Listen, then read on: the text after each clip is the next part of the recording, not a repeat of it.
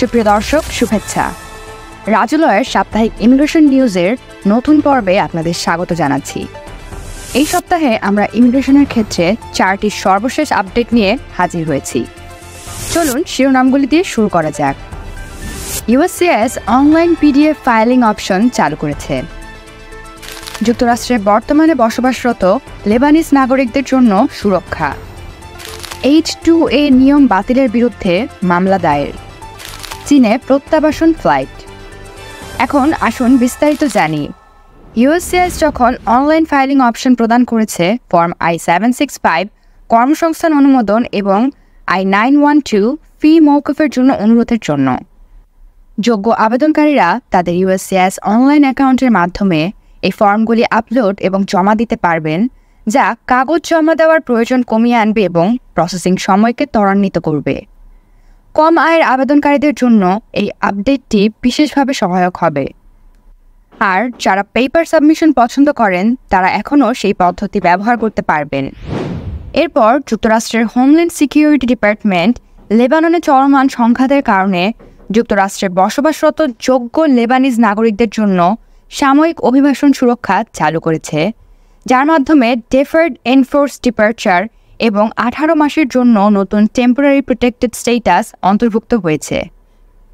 ষোলোই অক্টোবর দুই তারিখে বা তার আগে যুক্তরাষ্ট্রে বসবাসকারী লেবানিস নাগরিকরা টিপিএসের জন্য আবেদন করতে পারবেন। ডিইডি এর আওতাধীন যোগ্য ব্যক্তিরা পঁচিশ জানুয়ারি দুই হাজার ছাব্বিশ পর্যন্ত বৈধ কর্মসংস্থান অনুমোদন নথির জন্য আবেদন করতে পারবেন। এছাড়াও এফ ওয়ান ভিসাধারী লেবানিজ শিক্ষার্থীরা পড়াশোনা চলাকালীন কর্মসংস্থান অনুমোদন অনুরোধ করতে পারবেন। ফেডারেল রেজিস্টার নোটিসে এর বিস্তারিত তথ্য শীঘ্রই প্রদান করা হবে।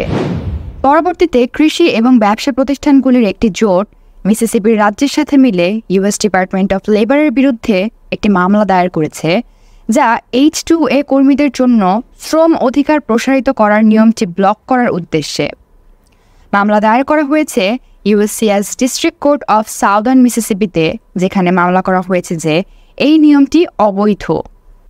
মামলার বাদীদের মধ্যে রয়েছে international fresh produce association American farm bureau federation এবং মিসিসিপি রাজ্য। এইচ টু এ কর্মীদের সুরক্ষা বাড়ানোর জন্য ডিজাইন করা নিয়মটি ইতিমধ্যেই একটি আদালতের আদেশ দ্বারা স্থগিত রয়েছে, যা বেশ কয়েকটি রাজ্যে প্রভাব ফেলেছে। সর্বশেষে পনেরোই অক্টোবর দুই হাজার তেইশ তারিখে যুক্তরাষ্ট্রের হোমল্যান্ড সিকিউরিটি ডিপার্টমেন্ট দ্বিতীয়বারের মতো একটি প্রত্যাবাসন ফ্লাইট পরিচালনা করে চীনে। এই ফ্লাইটটি জুন মাসের একটি প্রত্যাবাসনের পরবর্তী পর্যায় যা দুই হাজার আঠারো সালের পর প্রথম ছিল এবং চীনের সাথে অনিয়মিত অভিবাসনের বিষয় নিয়ে পুনরায় সহযোগিতার প্রতিফলন ঘটায়। ডিএইচএস দুই হাজার চব্বিশ অর্থ বছরে রেকর্ড সংখ্যক প্রত্যাবাসন পরিচালনা করেছে এবং আরও প্রত্যাবাসন ফ্লাইটের সংখ্যা বাড়ানোর লক্ষ্য নিয়েছে।